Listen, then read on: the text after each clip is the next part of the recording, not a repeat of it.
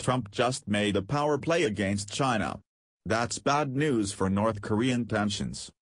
On Monday, U.S. President Donald Trump authorized the Office of the United States Trade Representative to begin a probe of China's trade practice, with a particular focus on the alleged theft of American technologies and intellectual property.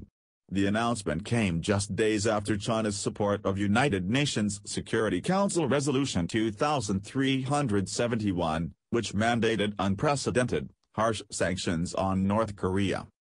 Although the trade investigation does not lead to immediate sanctions on China, the move signifies a negative tone and punitive direction for U.S.-China trade relations. Such a power play against Beijing despite Chinese cooperation on North Korea not only threatens to derail Trump's China card in North Korea, but also begs the question of why the U.S. president is linking these two issues in this way at all. The gamble sends mixed messages to China and makes it increasingly more likely the two powers will fail to cooperate on these crucial affairs.